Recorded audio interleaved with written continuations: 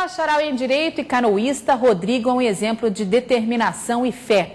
Você vai conhecer agora um pouco da história desse jovem que, depois de um acidente, ficou paraplégico e encontrou no esporte um sentido para viver e ser feliz. Na parede do quarto, a foto da paixão do Rodrigo. Paixão nova, né, Rodrigo? Nem sempre foi assim. Então, é, a canoagem surgiu na minha vida aí como esporte mesmo, de competição, há somente quatro meses atrás. Foi o primeiro contato com o esporte para competição, foi esse pouquinho tempo aí. Rodrigo sofreu um grave acidente de carro em 2009. Dois amigos morreram. Ele ficou paraplégico. Precisou usar este colete por sete meses. Por conta da altura da lesão, eu tive que usar esse. Praticamente uma armadura. É. Eu, eu chamo ela de armadura, mas eu acho que. Porque me mobilizou de uma forma total.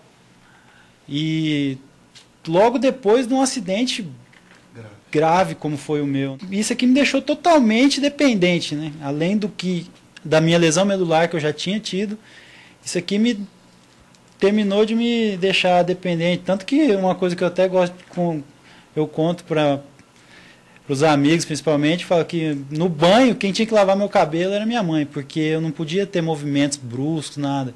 E isso aqui era meu companheiro da, da hora que eu acordava até a hora de dormir de novo, não podia tirar nem para descansar. Rodrigo passou por quase dois anos de tratamento. Hoje ele trocou o colete pelos remos.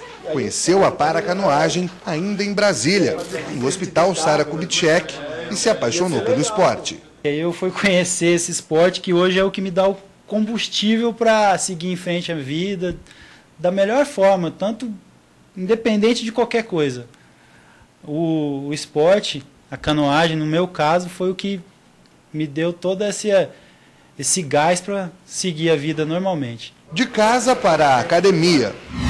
E aqui a força de vontade e a força física impressionam. Olha só. Rodrigo faz exercício de segunda a sexta-feira, uma hora por dia. Para o personal trainer, um exemplo a ser seguido. Muitas vezes tem as pessoas aí que não tipo estão em casa sem fazer nada, podendo estar tá praticando um exercício, atividade física. Vendo ele, segue o exemplo, né? Um exemplo de superação e força de vontade. Tanta dedicação que já trouxe grande conquista para o Rodrigo e para Mato Grosso do Sul. Ele foi campeão do Brasileiro de Canoagem, disputado no início do mês em Curitiba, no Paraná.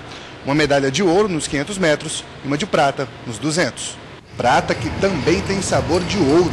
Rodrigo só ficou atrás do bicampeão mundial Fernando Fernandes. Aliás, foi quem o incentivou a praticar a canoagem. Eu ainda tenho muito que crescer na, na canoagem, é, seguindo até os, o exemplo de treinamento, de superação e de dedicação que o Fernando é. Mas eu, se Deus quiser, a gente consegue chegar. Quanto mais dá mais trabalho para ele, é bom que valorize o esporte também.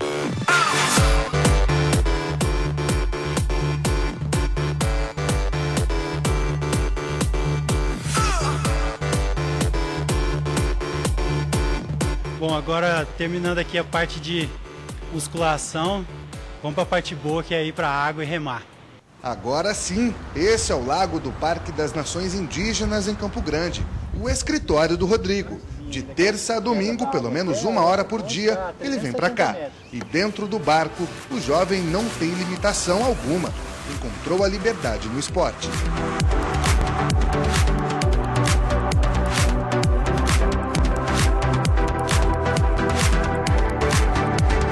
Como todo atleta, o sonho de Rodrigo é disputar os Jogos Paralímpicos. Outro sonho é formar uma equipe de para-atletas, trazer todo mundo para a canoagem.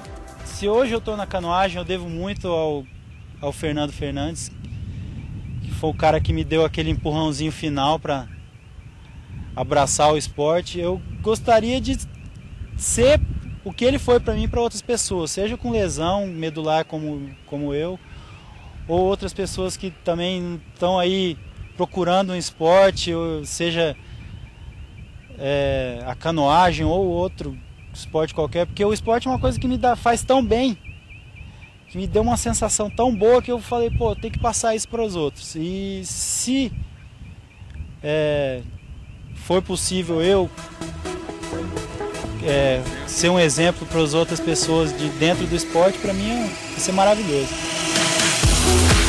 Thank you.